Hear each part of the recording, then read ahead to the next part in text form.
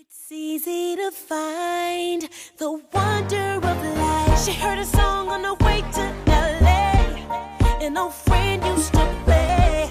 And nearly brought her to tears. They hadn't spoken in years. Checked in, then she raced through the crowd.